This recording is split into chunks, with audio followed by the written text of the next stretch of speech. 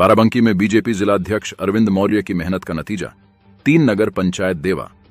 रामनगर, हैदरगढ़ के चेयरमैन समेत दर्जनों सभासद बीजेपी में शामिल। सपा समर्थित नगर पंचायत देवा।